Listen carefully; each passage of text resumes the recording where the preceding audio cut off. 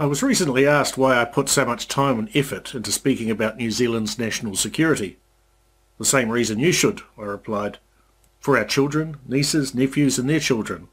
Hi, I'm Simon Ewing Jarvie. It's our responsibility to leave a better, safer, freer country than we inherited. And the only way that's going to happen is if ordinary citizens are involved in the national security conversation. That conversation should start with a comprehensive national security strategy being formulated, not the compartmentalised and under-resourced thinking which has been allowed to take hold, because that is indefensible New Zealand. Welcome, I'm Heather Roy and it gives me great pleasure to welcome you to the first in a new podcast series by Simon Ewing Jarvie called Indefensible New Zealand. Simon has a number of unique experiences and insights into the area of national security, uh, from 25 years in uniform in New Zealand through to working in national security academia and policy development. And Simon, you are now a very active national security commentator. I really enjoy reading your UNCLAS blog, where you've traversed a, a hugely wide range of defence and national security issues. And now you're launching this podcast series, Indefensible New Zealand. That's right, here. Thanks for the introduction. Yes, uh, there's been lots of writings and lots of uh, presentations over the years from me on this subject. Uh, now it's time for the podcast series.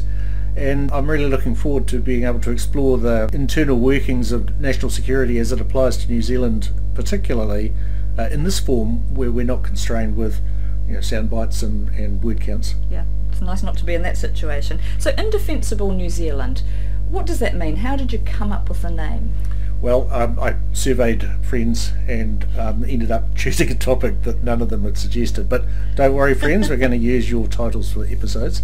It, indefensible, something is indefensible, means you can't defend it.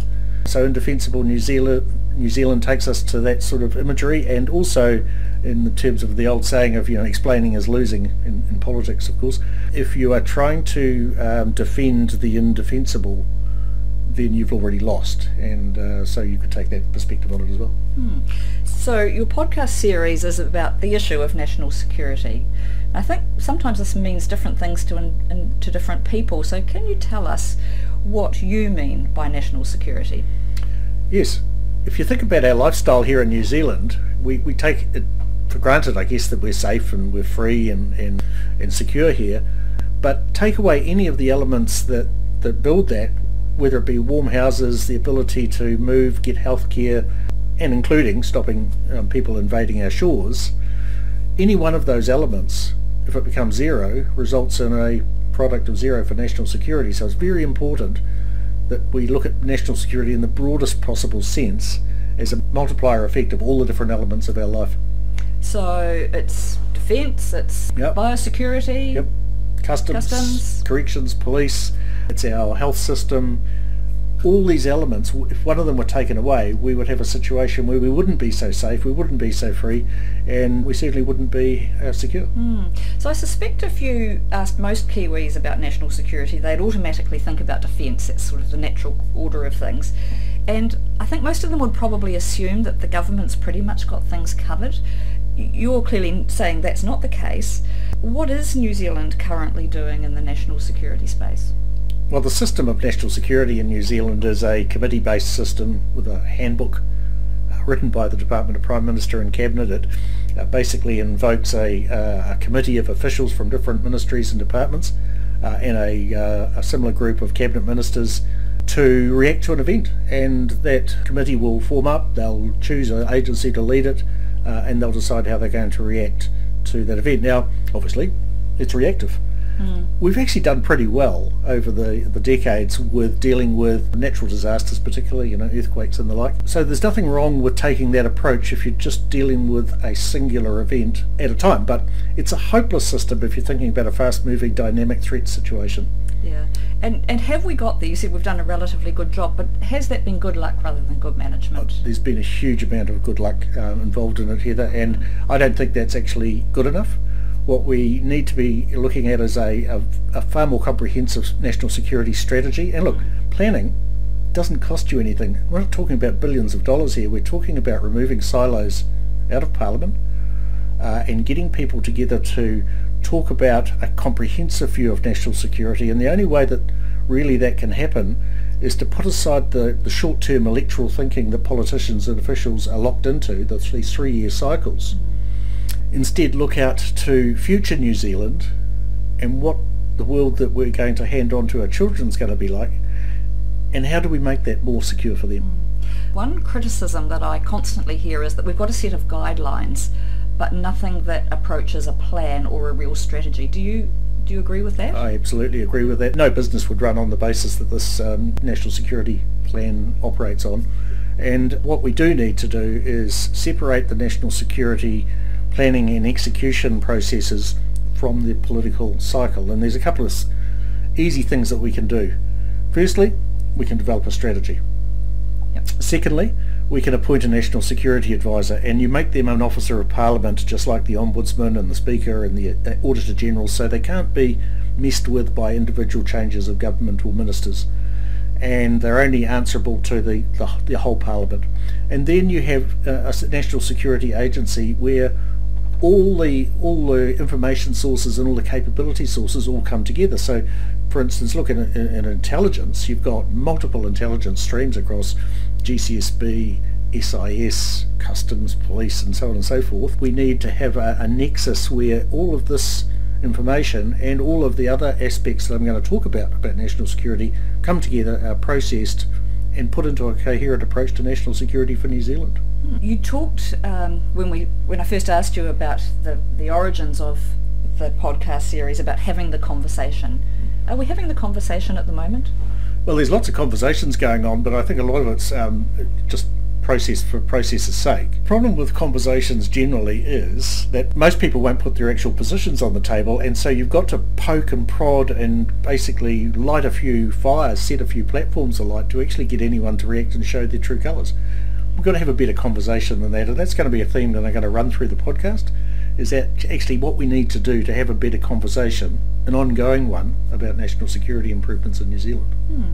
So I'm really keen to hear more about what you're going to cover in your Indefensible New Zealand podcast series. Okay, well, there's um, it's wide ranging, but basically you could say it's about what do we need to do to keep Kiwis safe now and in the future. And uh, so we have to start well what is what does a likely future look like for national security? And we're not talking three five ten year cycles. Uh, we're talking 30 to 50 years we need to be thinking about. Now I know people will say you can't possibly imagine what the world will be will be like there. And that's true but irrelevant because we know it'll be different to now. So if we keep doing the same things as we're doing now we'll keep preparing for now. Uh, we do know it'll be more digitized it'll be more interconnected. We may or may not have experienced or be experiencing uh, regional conflict and hopefully not, but possibly world conflict. Um, we know that um, all sorts of things that we take for granted now will have changed in 30 to 50 years, and so we have to look at those assumptions and say, will are they resilient for the future? What's the future look like? How big is the gap between where our national security profile is now and what it needs to be to deal with that future? Mm-hmm. What do we do, need to do right now, and what sort of timeline do we need to be operating on. We need to focus on, I'm going to unashamedly hat tip to uh, Jim Molan, Senator Jim Molan's Australian podcast, Noise Before Defeat, where he talks about self-reliance versus self-sufficiency. It would be madness economically to try and become self-sufficient, do everything ourselves all the time. When we can buy in the in the world market at good prices, we should. But the point is, a self-reliant country is one that when we can't do that, we can still produce what we need be secure and safe inside our own country ourselves. And at the moment, we are not self-reliant and we lack manufacturing capability, we lack emergency reserves, and we're going to go through a whole lot of those elements within the arms and services of state to see what needs to change and, and how soon. Yeah, that sounds great. So uh, I'm hoping that you're not the only person thinking along these lines in New Zealand. Are there others that you're going to involve in your podcast series? Uh, absolutely. There'll be a rolling maul of politicians and officials and academics and industry leaders and some ordinary citizens. Yep. Some of my mates even get, get them well, in and see what they think because actually at the end of the day politicians won't make these changes that, that, that need to occur until enough people, enough voters convince them that if they don't, they're not going to be politicians for very much longer. And that's the point of having the conversation, isn't it? absolutely yeah. the point. And so when we look back on history, there's all sorts of times and places where lack of preparedness has uh, shown itself for what it is, lack of preparedness. Mm. Are there any in particular that sort of spring to mind when you when you think about national security in our situation now? Well, two world wars for a start. We just got downright lucky. Yep. We weren't prepared for either war. We went, went off happily singing, and luckily we had some fairly powerful friends and a, quite a good intelligence system that was able to crack some codes. Mm. It's delusional to think that we're actually very good at war. And Jim makes this point on his podcast as well. We are tough, but so are other people, and we, we've been lucky. And no one should presume that we'll just continue to be lucky. No, you can't bank on that. No, and as Benjamin Franklin said, by failing to prepare, you are preparing to fail. That's a very sobering statement, isn't it? That's it for this episode of Indefensible New Zealand. Thanks for joining the national security conversation. If you found this podcast episode useful, please subscribe and share it with your friends. For more information on New Zealand's national security or to send in questions for the series, please go to my website, unclas.com.